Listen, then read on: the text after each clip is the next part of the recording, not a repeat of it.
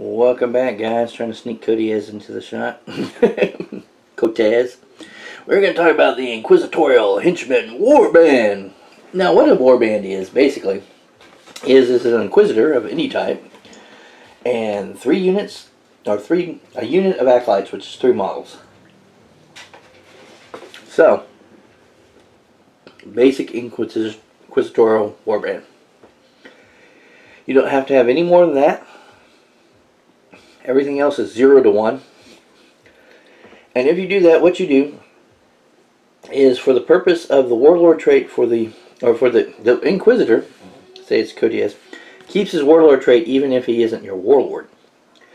And for the purpose of the Warlord trait, the Inquisitor is considered to be your Warlord. I'm say if the thing, your Warlord and his unit, or if your Warlord is still alive, you know, a lot of Warlord traits say that. So he's considered to be the warlord for the purposes of that trait. Um, not for purposes of like warlord kills and other stuff. Let's move everybody over here. Come on, guys. Share the spotlight. Also, and also, it allows your inquisitor to take, depending on his ordo, like a uh, Curious here could take a Grey Knight Terminator squad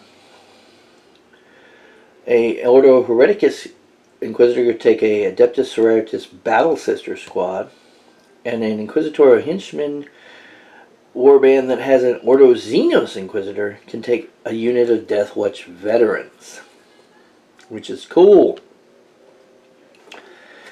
So if you just wanted to get some Deathwatch veterans in a, because um, uh, if they're bringing them with this, they can bring the uh, Corvus Blackstar as their dedicated transport. From the Imperial Agents book, I don't believe they can bring any other transport. I'll just check real quick. The Deathwatch. Yeah, Corvus Blackstar is all that allows them from the Imperial Agents book here. But they have all their other choices that they can have. So you can bring a Deathwatch veteran unit.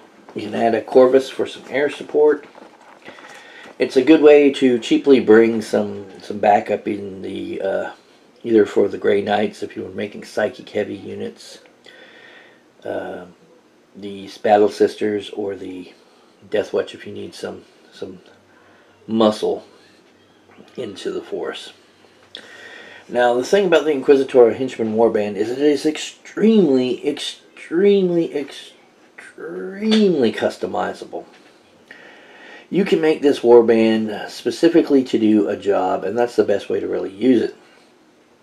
Because the units that can be in here is 0 to 1 Ministorum Priests, 0 to 1 Crusaders, and by that they mean units of Crusaders, 0 to 6 Daemon Hosts, so you could have 6 of those guys if you really wanted them, 0 to 1 uh, uh, units of Arcoflagellants, 0 to 1 Death Cult Assassin unit, so up to 10 of those guys as well. 0 to 1 Tech Priest Enginseers. 0 to 6 is Jokaero Weaponsmiths, so you can bring 6 monkeys. And 0 to 1 Astropaths. So as you see, you can take this and you can go, say, bring a, say, Coteaz or another Ordo Malleus Inquisitor. You can bring your basic three Acolytes if you wanted. You don't have to bring more. You bring 10 just base ones if you really wanted. But say three Acolytes. Then the Inquisitor going to bring a Grey Knight Terminator squad for their Psychic Might. Then you can bring an Astropath to add a little bit more Psychic Might. And that little small force there can be like little psychic fighting bubble that you have. The Astropath and the Acolytes can stay back on an objective. The Inquisitor and his Terminator squad can be out there doing some of your work with the rest of your army. Or say you wanted to create a more close-in fighting unit. Get yourself a um, Ordo Hereticus or Ordo Xenos Inquisitor. And uh, Xenos would be nice because you can get yourself like um, Venom Talons, Needle Pistols, all that close combat cool stuff.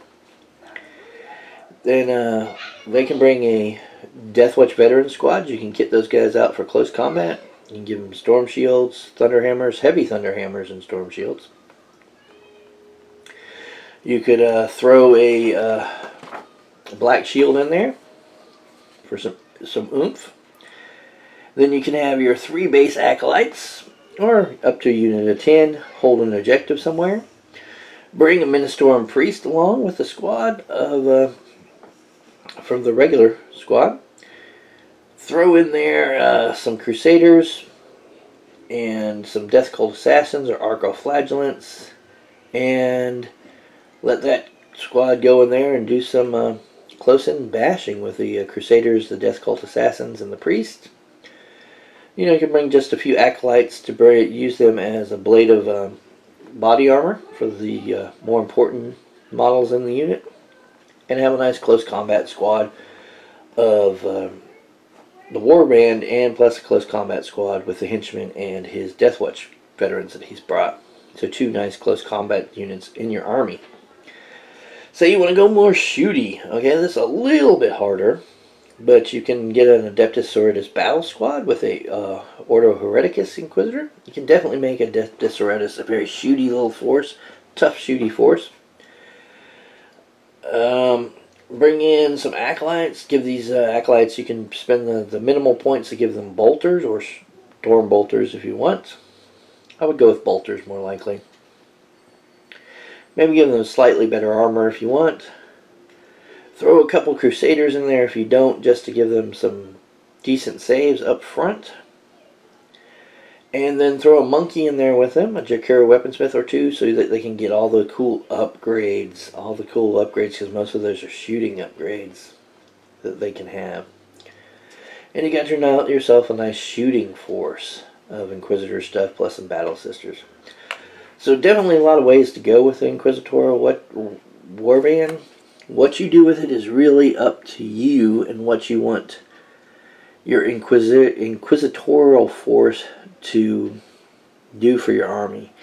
But in the basics of it, if you just spam this inquisitorial henchman warband, depending on what rules you're going for, um, ITC you could only have three formations, so uh, but regular play you could have as many as you want. You can just go Inquisitor, three acolytes, Inquisitor, three acolytes, Inquisitor, three acolytes, and just load up on the warlord traits.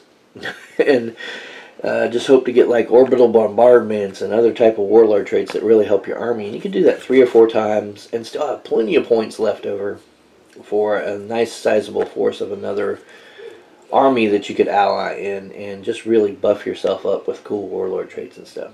So a lot of ways to use this. Alrighty guys, that's about all we have for Inquisition. next thing I'll be talking about when I start doing those videos will be the AdMech and Cult Mechanicus, Skitarii and Cult Mechanicus basically. AdMech. Love those guys. Have my war convocation. Uh, it does well in certain situations. In other situations it can be crushed almightily. Mightily crushed. But uh, that will be for another day. We'll do some other videos. I'm trying to assemble a lot of stuff. Gonna do some painting on these uh, these little guys here. Love these guys. Up here, there you go. Painting on some of that stuff. Waiting. Uh, hopefully, we'll be able to get some uh, new kits in. Going to get uh, some battle reports started. Robert and Dan are now kind of more settled with their stuff, and they were talking about some uh, other guys that might want to do some battle reports, and they're actually you know, pushing for battle reports. They're like, yeah, we should do some battle reports again. So, so probably going to get some of those up for you and some other different types of videos as well.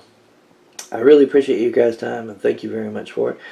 Um, if you would, could you just put a like there on the video if you liked it? Comment down in the comment section if you have anything to say. How about, how about you? How would you build your Inquisitorial Henchman Warband? What would you use them for? I'd like to know. That'd be interesting.